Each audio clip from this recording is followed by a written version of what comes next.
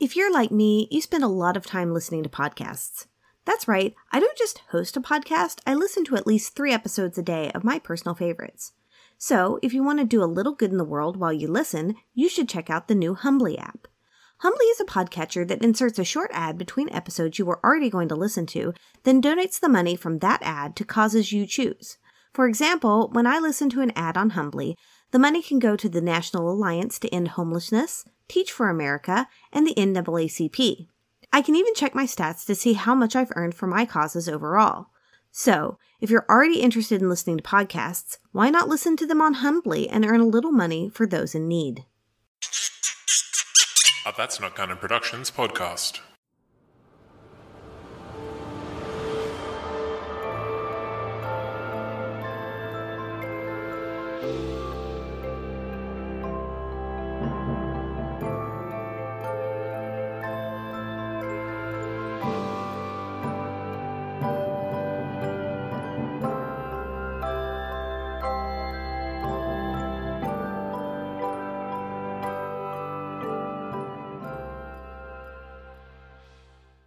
Hi there, and welcome back to Oof, Right in the Childhood, a podcast where I'm telling you the history of each of the Disney animated feature films, and then watching them in order and commentating on how they haven't aged all that well. This week, I'm talking about Robin Hood, which is, at its roots, about tricky, sexy foxes. The myths of Robin Hood are, well, they're varied. The earliest surviving poem featuring the outlaw is from the 15th century BCE, though the legends usually describe the events taking place in the 12th century along King Richard I or Richard the Lionheart. Like most legends, there are dozens of stories about Robin Hood, and there are almost as many versions of each of those stories from different sources. So, much like we've taken liberties with Thor, red bearded Norse god of thunder, to make him into a blonde, clean shaven Australian superhero, Yes, I've seen Endgame too, but go with it. The modern era has adapted Robin Hood so many times that there's a Wikipedia page dedicated to the movies and television series based on Robin Hood. And though I don't know him or get any kind of kickback for recommending his podcast, if you really want to hear about the bizarre adventures of Robin Hood as they were originally written, I highly recommend you go check out the Myths and Legends podcast by Jason Weiser. He does a great job of modernizing more than just Robin Hood. Also, I'd love to be friends with Jason, so let him know. Anyway, Robin Hood started out as a thief that stole from the rich and gave to himself. And then he realized that all these rich people were making the poor people miserable and decided to give to the poor. He was great with a bow, but terrible at melee range. Another legendary character you might know less about is Reynard the Fox, an anthropomorphic trickster fox that dates back to the 13th century BCE. And if you're sitting here wondering why I'm bringing him up, well, give it a minute. Reynard was never seen as a good guy, and in fact maybe where we get the idea that foxes are sly and tricky. The Reynard fairy tales are basically stories of how Reynard tricked other animals into doing his bidding, and that often leads to their deaths. It's not that Reynard was a terrible legendary figure, it's just more that the 13th century was super dark. Walt Disney knew about the Reynard the Fox stories, and they were among the first stories he considered to adapt to feature films. That's right, as far back as Snow White, Walt Disney wanted to make movies about a tricky, murderous fox for children. The problem was that Reynard was a tricky, murderous fox, and Walt was a little worried that the tales were too sophisticated for kids, so he shelved the ideas. He might have been right. The Reynard tales are really funny, if you understand them, but I think kids might have just seen a fox that murders people. The studio brought Reynard back as an idea for short cartoons inserted into Treasure Island. When that didn't work, he was going to be the villain in their Chanticleer movie, and then that movie got cancelled. So, as production of Aristocats wound down, the studio was in a constant state of flux. They were both seeking a new film idea and trying to open a new theme park. Disney World wasn't quite complete when the Aristocats was released in December of 1970, but it was in its final stages. In fact, not only was the park completed on schedule, but the golf courses near the Magic Kingdom opened a couple months early, and they completed the first Walt Disney Hotel before opening day on October 1st, 1971. When the park opened, tickets were $3.50 for an adult, $2.50 for juniors, and a buck for kids under 12. But before you get really excited, that's still $22.50 for an adult today. With Walt Disney World opened and his brother's plans fulfilled, Roy O. Disney retired from Walt Disney Productions, leaving Don Tatum as CEO and Card Walker as the president of the company. He went home to a nice, relaxing retirement until an intracranial hemorrhage ended that and his life two months later in December 1971. Don Tatum had a lot to live up to, being the first non Disney in charge of the Disney company. The thing was, Walt Disney had been an artist first. He started the company because he loved drawing cartoons and he wanted to bring the world more cartoons. Tatum was a corporate lawyer. He had been hired by Walt himself in 1957, but he didn't have the creative spark that Walt did. He was focused on the business side of the studio. However, he did still have guidance from Roy O's son, Roy E., who became part of the board of directors starting in 1967. Based on what Tatum learned from the studio's past, he decided to remain in the background and let the more charismatic members of the executive team shine. He also decided that the animation studio would continue, despite the recent concerns of the board of directors. I'm not sure if that was based on his relationship with Walt or the fact that both The Jungle Book and Aristocats were slam dunks. Though The Aristocats was an original story, the execs wanted a more classic tale as their first foray into a completely Disneyless Disney film. And Ken Anderson suggested a take on Robin Hood. They loved it.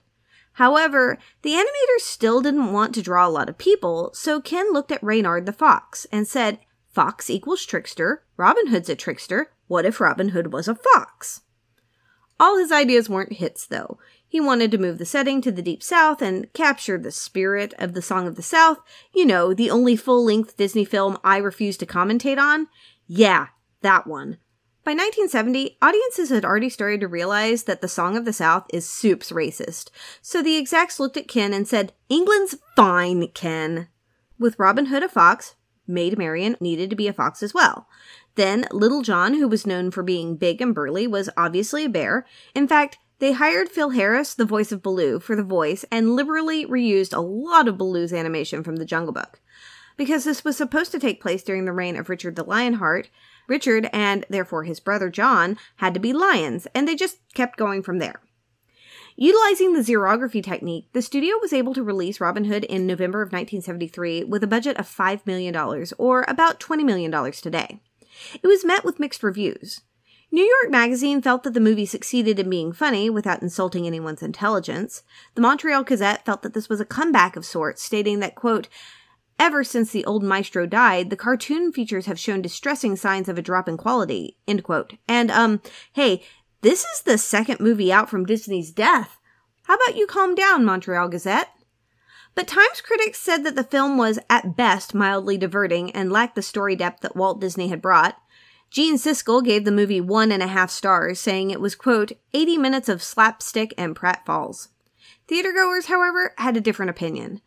Once it hit theaters, Robin Hood grossed $9.6 million from domestic box offices and $18 million internationally, resulting in a total box office of $27.5 million, $109.8 million when adjusted for inflation, and that made it the highest earning Disney feature film up to that point. The song Love was nominated for an Oscar for Best Original Song, but lost to The Way We Were. It's also one of those Disney films that has simply just become part of the collective consciousness. The characters appear as cameos in Disney shows throughout the ages, including Mickey's Christmas Carol. It also played a part much more recently when the director of Zootopia remembered his favorite movie as a kid and created Nick Wilde for the movie. So, is it worth that moment of nostalgia that those in my generation feel when they see a fox with a feathered cap, or does it miss the mark when watched with a modern eye? Stick around after this short break, and I'll let you know what I think. Today's episode is brought to you by Kind Bar. Kind is deeply committed to crafting food with real, recognizable ingredients, a disruptive notion that sparked the creation of a new, healthy snacking category. Kind is unapologetic in their efforts to challenge the status quo, to shift the food industry, and empower their community and my listeners to make better, informed choices about health. Kindness can be a transformative force for good, and that's why I teamed up with Kind and Podgo to bring my listeners 10 or 15% off for military, teachers, students, first responders, doctors, and nurses. So head to podgo.co slash kind. That's podgo.co slash kind. Kind Bar, creating a kinder and healthier world, one act, one snack at a time.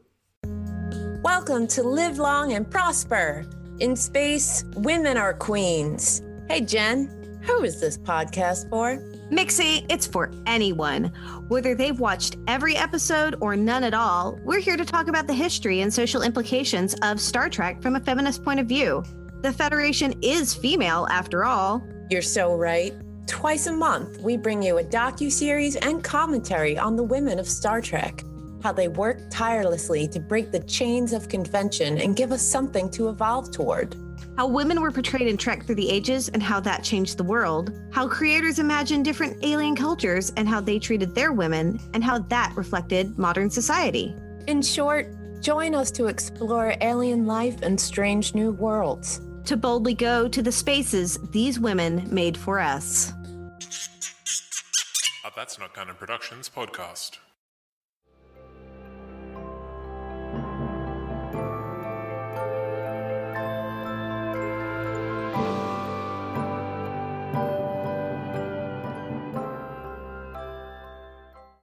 This week's cover art was made by Wendy from Pencil Paints and Threads. She has a great Instagram and takes commissions over there. I've linked to that in the show notes.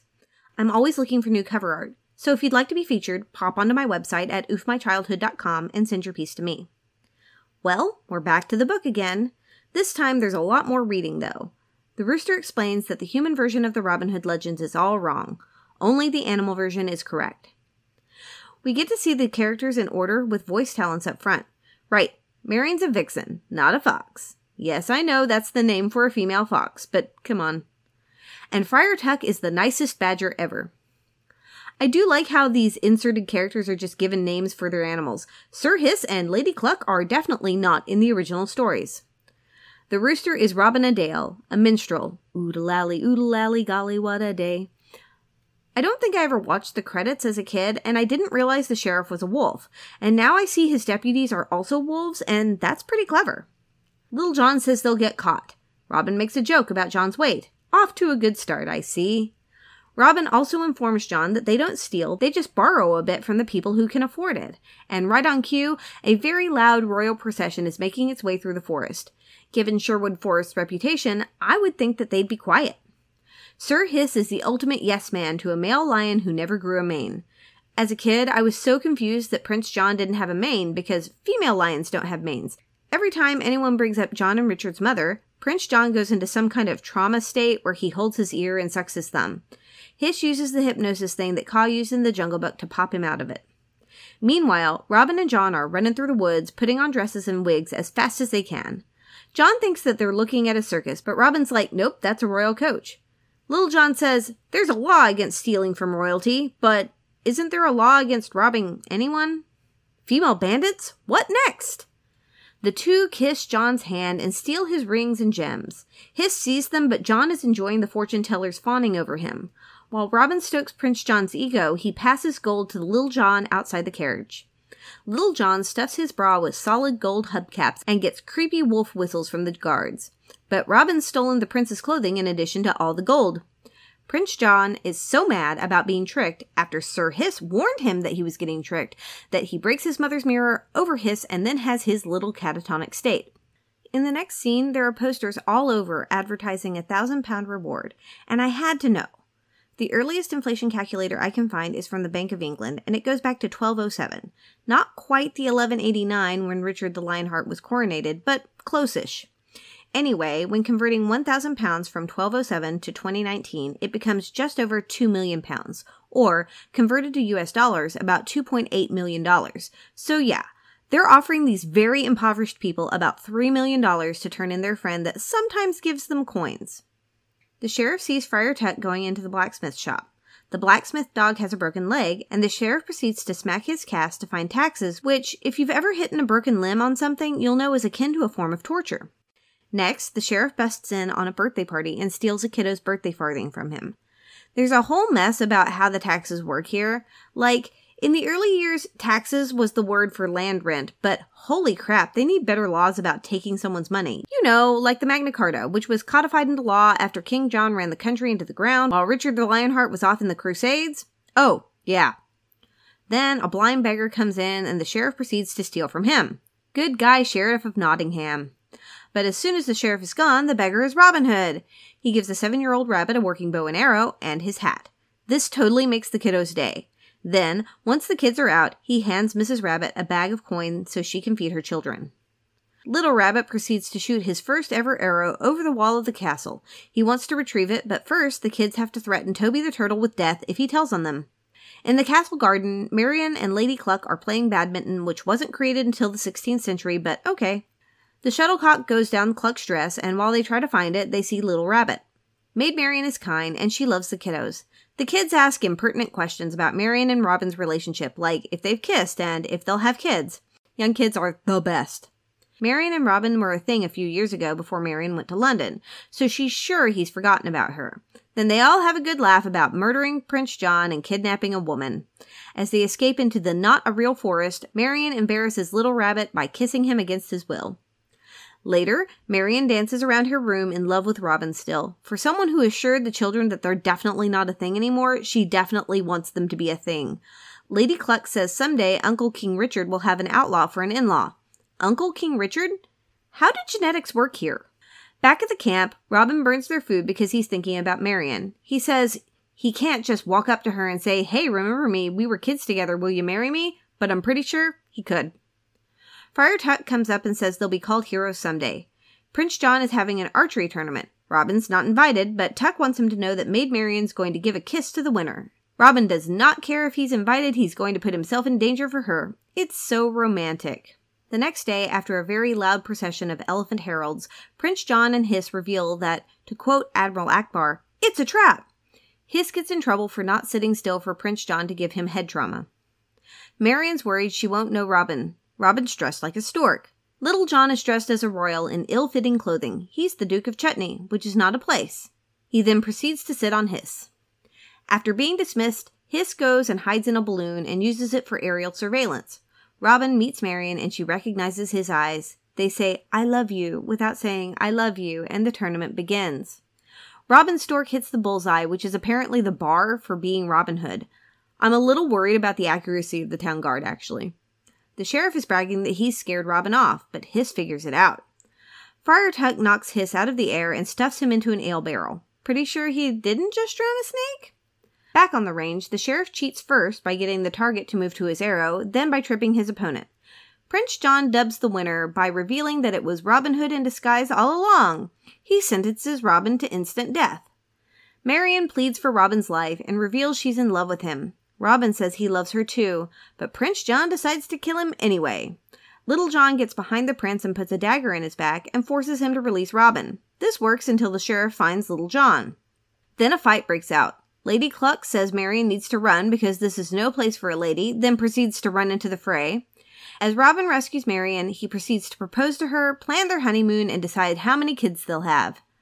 The Rhino Guard run the sheriff into a brick tower. Prince John calls Lady Cluck the fat one because this movie's really hung up on fat phobia.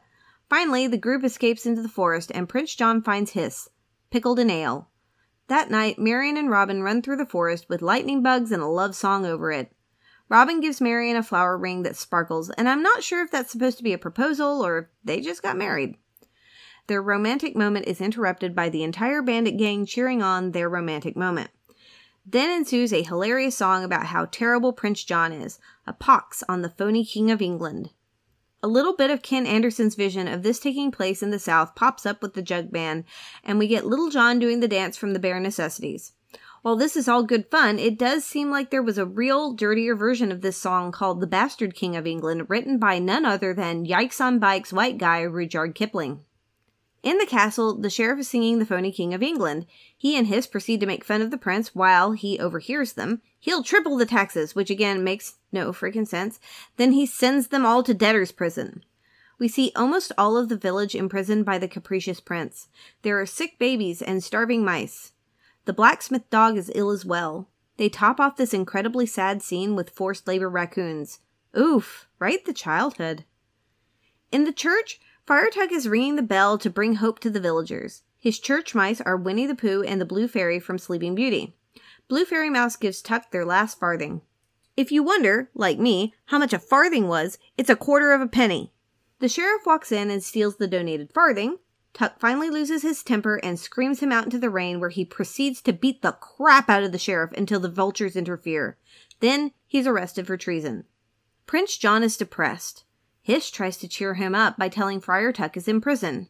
John decides he'll trap Robin Hood by hanging Friar Tuck and waiting for Robin to rescue him.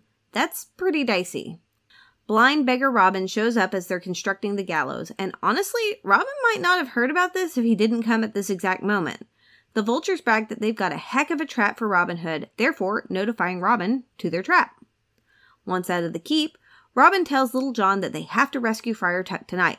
They skulk around the castle. The sheriff's upset that he keeps getting woken by the guards doing their job, then almost gets killed in a crossbow incident. After they kidnap Nutsy the vulture, the two lullaby the sheriff to sleep and make it seem like Trigger the vulture is crying wolf. Little John frees the people in terrible conditions, and Robin heads off to empty the treasury. John's bedroom is apparently the royal treasury, as he sleeps surrounded by gold with two bags of gold in his hands. Robin proceeds to somehow hang the bags of gold on a rope, and Little John ferries them down into the jail cell. But one of those bags split, so they have to kidnap the sheriff and sneak everyone out of the keep.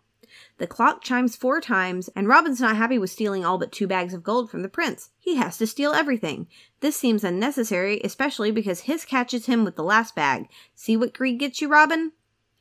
The Rhino Guard, again being unable to stop, plowed the prince through several stone walls while the royal archers had the aim of stormtroopers. Robin goes back to save a baby bunny and puts himself in more danger. While I can't say I'm okay with him putting himself in danger for stealing two extra bags of gold, I can absolutely defend this, though she wouldn't have been in danger if it weren't for the two bags of gold. The sheriff decides to fight Robin with a lit torch, resulting in him setting the entire castle on fire, and Robin jumping into a moat where they shoot him with arrows until he goes down and his hat comes up. Little John and Little Rabbit watch this and realize that Robin has died. This little kiddo lives under the worst rule in history and just watch his hero die. That is, until he sees a reed moving around. Robin escaped.